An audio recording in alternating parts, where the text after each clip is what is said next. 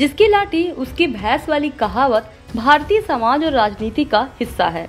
उत्तर भारत जैसे प्रांतों में बाहुबलियों का बोलबाला हमेशा से रहा है।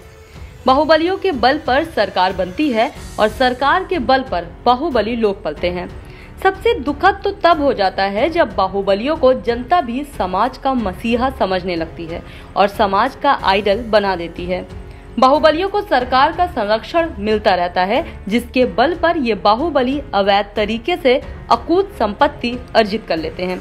लेकिन जैसे ही सरकार की नज़र थोड़ी टेढ़ी होती है तो बाहुबलियों को भी कभी कभार उसका खामियाजा भुगतना पड़ता है। या जब सत्ता परिवर्तन होता है तो बाहुबलियों को थोड़ी दिक्कत होती है। भारत में योगी सरकार जब से बनी है, उसके आते ही यूपी में बाहुबलियों को दिक्कतों का सामना करना पड़ रहा है।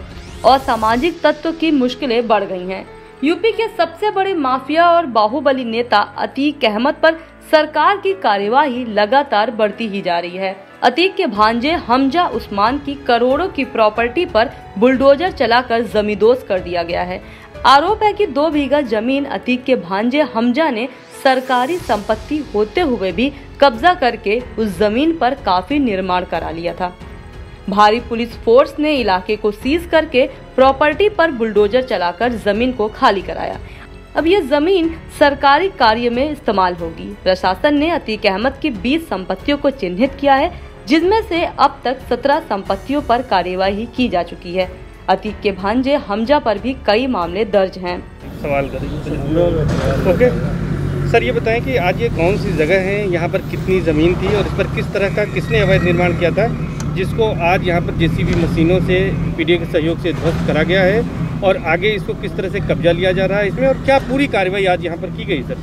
महदौरी इलाके में ये राजकीय स्थान की भूमि है, घाटा संख्या 421 और उसमें दाखिल काश्तकारी के रूप में ये किसानों को दिया जाता है, जिसका इन्होंने शर्तों का उल्लंघन किया था और ये निर्माण कराया गया था। ऐसा ये सूचना आई थी कि इन्होंने दूसरे को विक्रय कर दिया था और कब्जा हस्तांतरण कर दिया था, जो बिना कलेक्टर की अनुमति के नहीं होनी चाहिए थे। प्रापर प्रक्रिया से नोटिस जारी हुई थी। नोटिस जारी होने के बाद चस्पा हुई थी। इसके बाद प्रॉपर कार्रवाई के बाद ये आप जैसा देख रहे हैं ये इलीगल इंक्रोचमेंट तोड़ा जा रहा है और सरकार अपने कब्जे में ज़मीन को ले रही है। सर करीब कितने की ज़मीन होगी? कितनी ज़मीन होगी सर? करीब ये दो बीघे ज़मीन है इस करीब कितनी इसकी लागत होगी? क्योंकि शहर के बीच में पौष इलाके में अब सर्किल रेट तो अभी देखना पड़ेगा जैसा कुछ है करोड़ों में होगी? हाँ करोड़ों में होगी निश्चित रूप से। यहाँ से ऊपर वगैरह रखा क्या? यहाँ जानवर भी पाले जाते थे क्या जानकारी नहीं अभी किसी का पता नहीं है कुछ गायें थी उनको एक तरफ़ कर दिया गया कि गौ गौवंशों को कोई नुकसान ना हो उनके चारे अलग कर दिए गए हैं उसको देखा जा रहा है।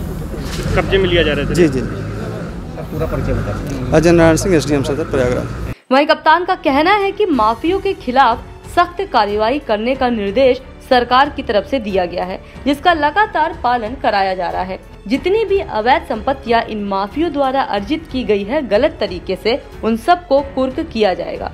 और ये संदेश दिया जाएगा कि अगर कोई भी इस तरीके से अपराध करके संपत्ति एकत्रित करेगा तो उसके ऊपर सख्त से सख्त कार्यवाही की जाएगी।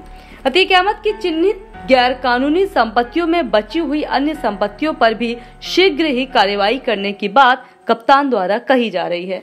खिलाफ बारह संपत्तियों को कुर्क किया जाना था। कल कुछ कार्रवाई हुई थी। आज क्या कार्रवाई हो रही है और इसमें कब तक पूरी कार्रवाई कर ली जाएगी सभी बारह संपत्तियों को कुर्क करने की? माफियाओं के विरुद्ध जो एक सघन अभियान चला है अपराध मुक्त प्रदेश बनाने के लिए, और खासतौर से यहाँ पर माफियाओं का दमन करने की जो हमारी मुहिम है, उसके क्रम में तो प्रॉपर्टियों की कुर्की की जा रही है। कल जो है, इनकी पाँच प्रॉपर्टीज़ को किया गया है। सीज किया गया है। आज भी प्रॉपर्टी की सीजर की कार्रवाई चल रही है। तीन प्रॉपर्टियाँ आज भी सीज हुई हैं और हो रही हैं। आगे भी इस पर जो बारह प्रॉपर्टी चिन्हित की गई हैं जल्दी से जल्दी तुरंत इनके सीजर का प्रयास किया जा रहा है और हम लोग जल्दी से जल्दी इसको सीजर कर लेंगे।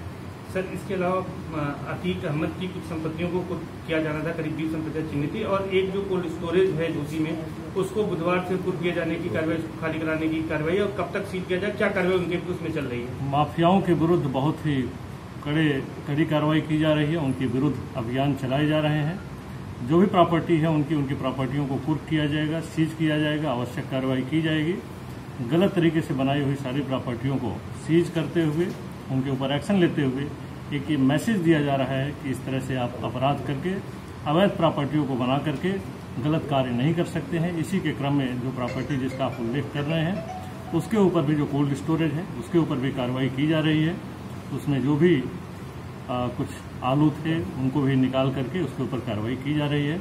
ऑलरेडी वो प्रॉपर्टी कुर्क है।